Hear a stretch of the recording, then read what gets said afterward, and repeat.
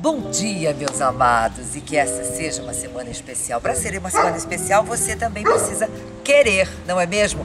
Eu tô aqui no meio do verde, gravando para vocês, porque o verde sempre me inspira muito.